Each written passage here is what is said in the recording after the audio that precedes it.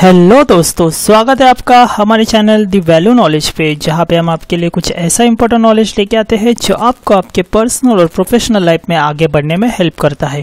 तो दोस्तों, आज हम बात करने वाले हैं बहुत ही इंपॉर्टेंट टॉपिक के ऊपर और वो है, अगर आप आपका फ़ोन जो है रात भर चार्जिंग को लगा के रखते हो तो उससे क्या हो सकता है? ये सारी चीज़ें आज हम आपको एकदम सिंपल लैंग्वेज में एक्सप्लेन करेंगे।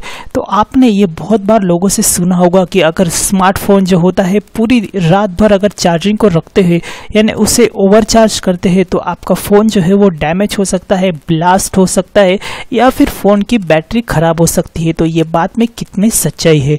तो जी हाँ दोस्तों, ये बात में बिल्कुल भी सच्चाई है और आपको ये सारी चीज़ें नहीं करनी चाहिए। हालाँकि आजकल के जो मॉडर्न स्मार्टफोन्स है, वो भी आते हैं, एकदम स्मार्ट बैटरी के साथ आते हैं और बैटरी जो है वो हंड्रेड परसेंट चार्ज होने के बाद अपने आप को एडजस्ट कर लेती है, लेकिन आपको ये रिस्क कभी भी लेना नहीं चाहिए, क्योंकि अगर बैटरी में थोड़ा भी अगर टेम्परेचर ज़्यादा हो जाता है तो उससे उसकी लाइफ जो है वो कम होती है और फ़ोन जो है वो ब्लास्ट होने का खतरा भी होता है। तो आप ये कभी भी नहीं चाहेंगे कि आपके फ़ोन के साथ ऐसा हो। तो अगर आपके लाइफ में कभी भी इमरजेंसी आती है, तभी आप ये चीज़ें किया करो, यानी रात को फ़ोन जो है वो चार्जिंग को लगाया करो। लेकिन अगर आपके लाइफ में कोई भी ऐसी इमरजेंसी इमरजेंसी सिचुएशन नहीं आती है तो आप ये सारी चीज़ें जो है वो अवॉइड करो। इसके अलावा एक चीज़ ये भी है कि आपने ये भी सुना होगा कि मोबाइल जब है चार्जिंग पे लगाते हैं तब फ़ोन पे बात नहीं करनी चाहिए, यानी उस फ़ोन से जो है वो कॉल रिसीव या अटेंड नहीं करना चाहिए। तो ये बात में भी कितनी सच्चाई है तो जी हाँ दोस्तों, आपको ऐसा भी करने से अवॉइड करना चाहिए।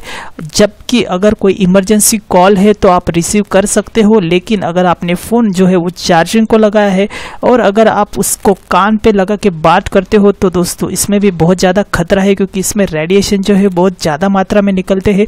फ़ोन का टेम्परेचर है, वो भी बढ़ता है, बैटरी का जो टेम्परेचर है, वो बढ़ता है और इसकी वजह से कुछ भी एक्सीडेंट हो सकता है। तो ये भी चीज़ें आपको अवॉइड करनी है। इसके अलावा एक चीज़ ये भी है कि आप, आपका स्मार्टफ़ोन जो है, वही बैटरी से, वही चार्जर से चार्ज किया करो जो आपके मोबाइल कंपनी ने आपके फ़ोन के साथ दी थी। अगर आप कोई भी दूसरे कंपनी का अगर चार्जर लगाते हो तो उससे क्या होगा कि आपके फ़ोन में काफ़ी सारे वोल्टेज वेरिएशन आएँगे। उससे भी आपकी जो मोबाइल की बैटरी है, वो डैमेज हो सकती है, उसकी लाइफ भी कम हो सकती है और वो वारंटी में भी कवर नहीं होगी। तो ये चीज़ें भी आपको ध्यान में रखनी है। हालाँकि आपने देखा होगा कि आजकल के जो स्मार्टफ़ोन है, ये ये सारे जो हमने आज का आज आपको चीज़ें बताई, उनको ऑलरेडी मद्देनज़र रखती है और वो ऑलरेडी इनको सब, ये जो एक्सीडेंट वगैरह के होने के खतरा है, उनको रिस्क जो है वो कम करने की कोशिश करती है।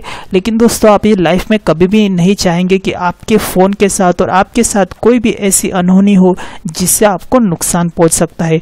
तो ये सारे जो स्मार्टफ़ोन यूज़ करने की जो एटिकेट्स है, जो हैबिट्स है, अच्छी हैबिट्स है, वो आप जो है वो हमेशा याद रखो और उस मुताबिक ही आप चलते रहो।